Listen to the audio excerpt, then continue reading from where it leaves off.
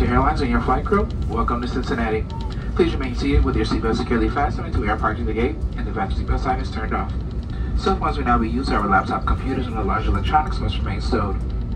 Once we arrive at the gate, please use caution when opening overhead bins to prevent injury as items may have shifted during landing. For questions regarding ground transportation and baggage claim, Frontier Customer Service representative